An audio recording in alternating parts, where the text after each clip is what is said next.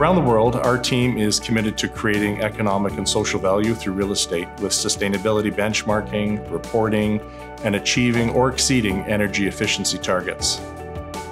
Resource conservation is one of our key sustainability goals, among others. OMERS and Oxford has set a net zero goal by 2050 with an interim target to reduce energy intensity by 50% by 2030.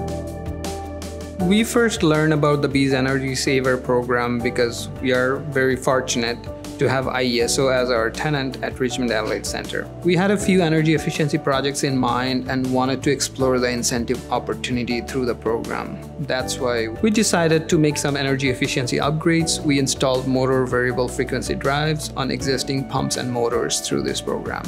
We have completed VFD installation at five of our office buildings, and the program assessment is in progress of other 10 buildings.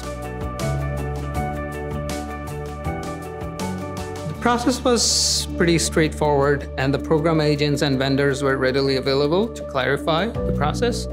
Upon request, a pre-qualified vendor scheduled a site visit to review equipment then the vendor provided us with no fee assessment, including incentive opportunities, energy savings opportunities, and other financial metrics for the project.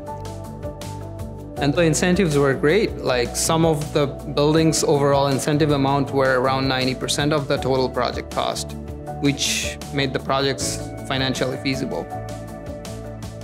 Through proper implementation of equipment control strategies, significant savings will be realized from these upgrades. And it's benefit for everybody. It's benefit for the province, and it's benefit for our grid. Every business should explore incentive opportunities before they approach any project because there are lots of incentives available out there.